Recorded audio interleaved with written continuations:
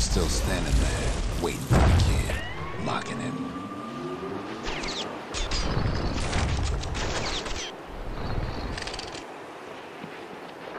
Sure, the city marshals may be gone, but now the fort's crawling with windbags.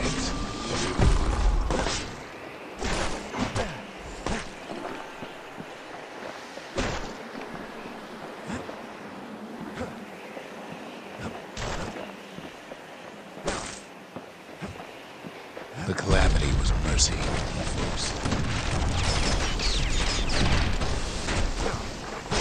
The windbags ain't so lucky.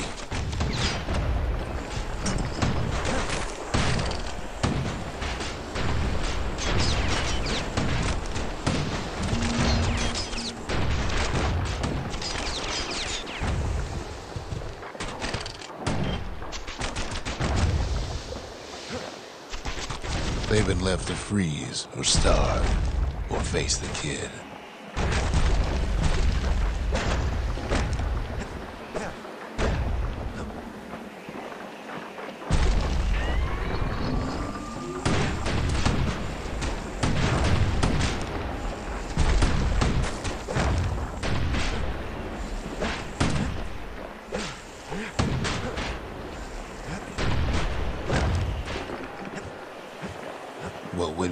Young and old keep fighting for the fort.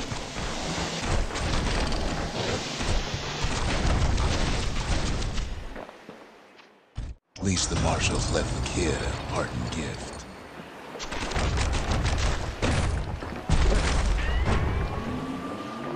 Something the windbags just can't handle.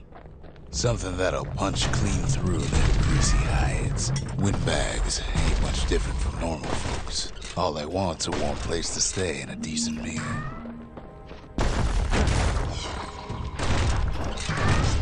The calamity drove the windbags topside. A lot of them wound up here in this very fort.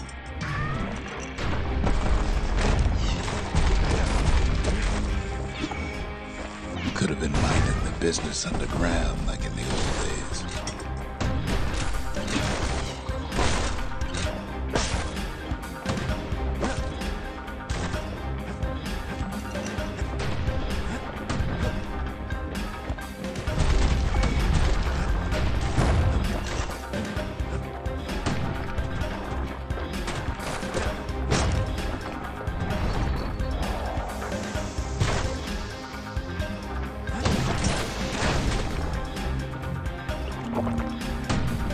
Windbags can't use the marshal supplies, but the kid sure can. He stashes the marshal's prize. Goes back to something more his style.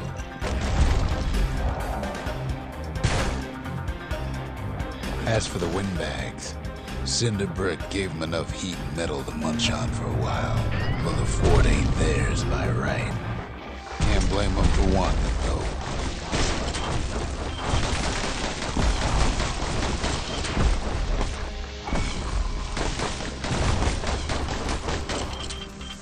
So many of those things hold up inside that old fort. Not a scratch on him as he presses on the higher ground.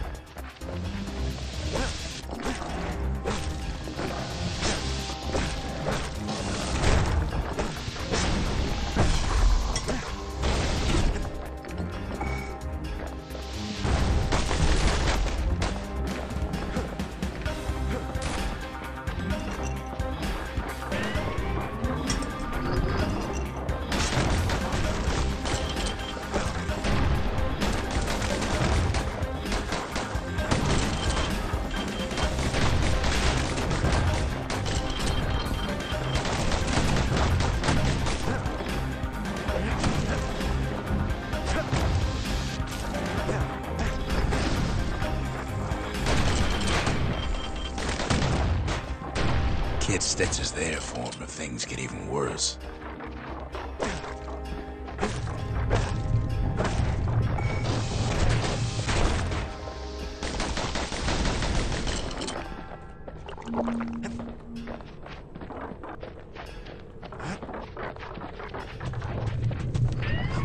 Security's plain gone haywire. Windbags gummed up the works.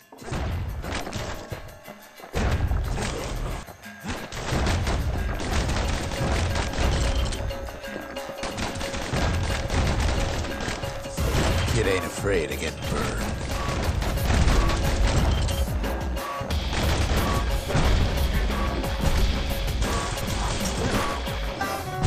They trapped the kid in the middle of the fort's parade grounds.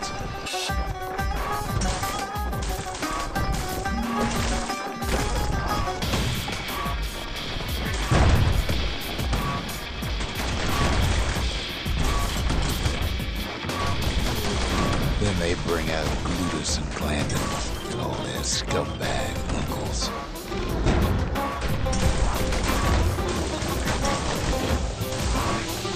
They got something to gain, and only their sorry hides to lose. The kid takes down Glutus. Or maybe it was Glandon.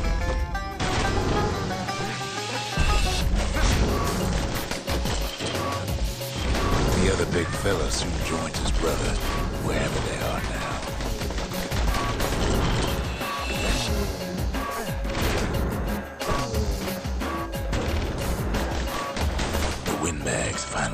Message.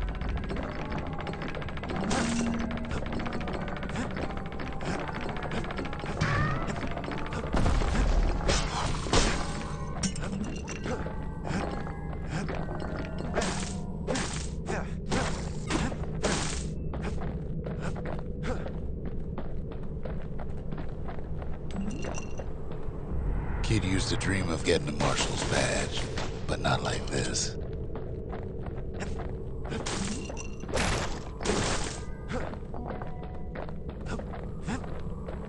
Skyways a welcome sight after all that. And now ain't nothing left for nobody down at Cinderbrick Fort.